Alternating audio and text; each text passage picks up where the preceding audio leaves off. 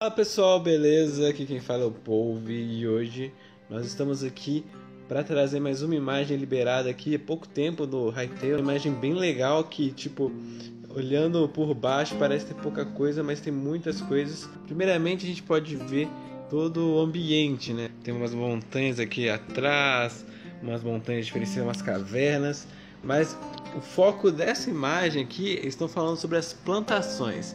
Eu fiz a tradução da frase que colocaram aqui, que é a seguinte: Depois de um longo dia de aventuras em Hytale, por que não voltar para casa e cuidar das suas plantações? Ou seja, será que vai ter um esquema igual no jogo que eu faço muito aqui também lives, que é o Stardew Valley?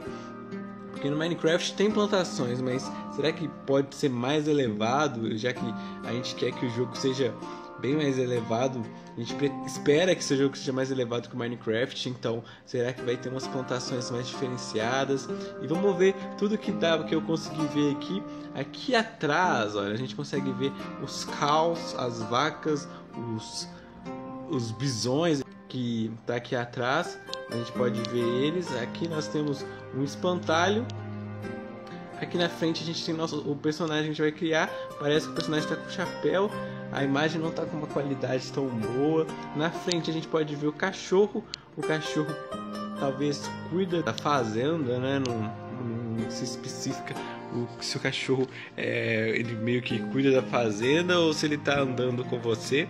Temos duas galinhas um cavalo, cavalo Justin Bieber, cavalo com franja, que já foi mostrado nos vídeos aí para trás, se quiserem ver é só entrar no canal.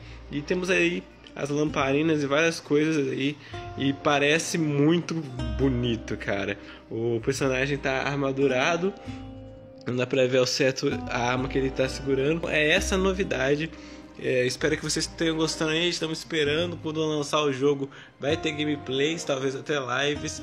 Então espero que vocês gostem. Se gostaram, deixa o like, ative o sininho para ver todas as novidades Hytale que lançar no Facebook oficial. Eu vou trazer para vocês e até a próxima. Falou!